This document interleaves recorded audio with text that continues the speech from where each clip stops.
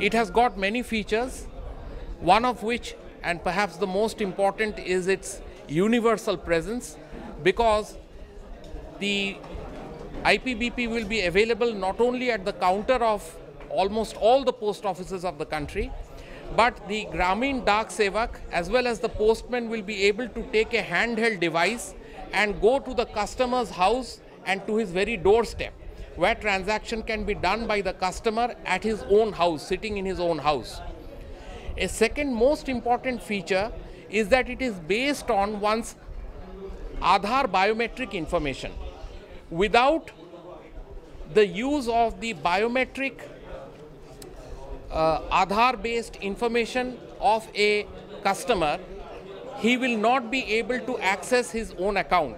He will have to feed in his biometric information before he conducts any transaction on that account.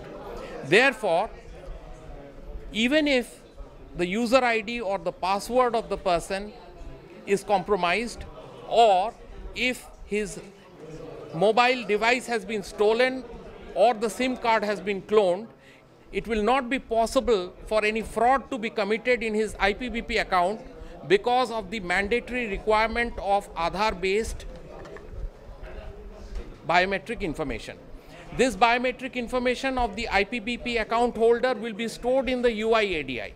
So we are presuming that the IPPB customer will have an Aadhaar account. And this feature gives it 100% security.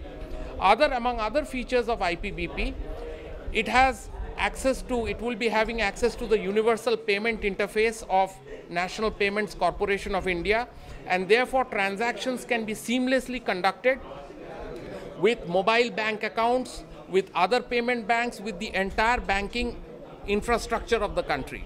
So there will be a seamless kind of a uh, uh, coordination and link up with banking across the board.